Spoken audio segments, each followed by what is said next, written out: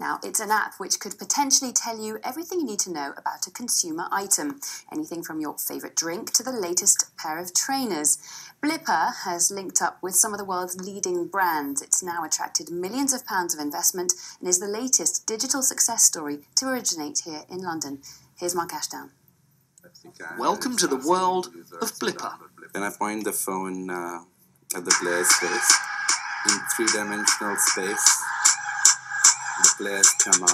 In simple terms, it's a web browser on your phone. You point it at almost anything, and stuff might happen.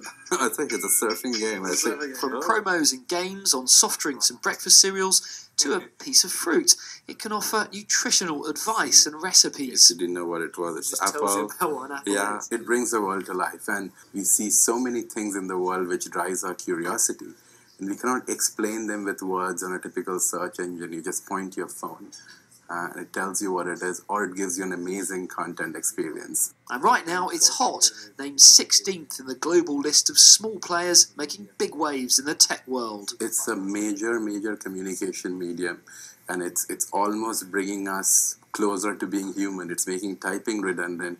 It's just making something we were always born to do. Look at stuff. It's spinning recipes for you. So And it's another London app success. I think uh, London's been a great city. I mean, it's uh, it's one of the greatest talent pools in the world, and to really drive world-changing ideas, I would say actually London is a great place to start these days. All this started with a joke over a £20 note in a pub in Surrey. Wouldn't it be funny, he said, if the Queen came to life? Now there appears no limits. There is no industry we're not touching. Like education and Blippar is amazing. I mean, I'm talking about brands, but we are making uh, kids realize that when you blip your homework and when you blip things, your engagement levels are 65% higher. There is a line then you think where you shouldn't be pushing stuff too much on people. It should I always be voluntary. Yeah, it has to be voluntary. I believe that in general, people shouldn't be pushed to do anything. Uh, it should be their choice. I was going to tell you, you're appearing tonight on BBC London News.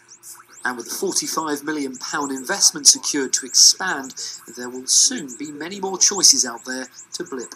Mark Ashdown, BBC London News. Well, we can talk now to Russ Shaw, who's the founder of a group which campaigns on behalf of London's technology industry, Tech London Advocate. Welcome to the programme, Russ. Thank you.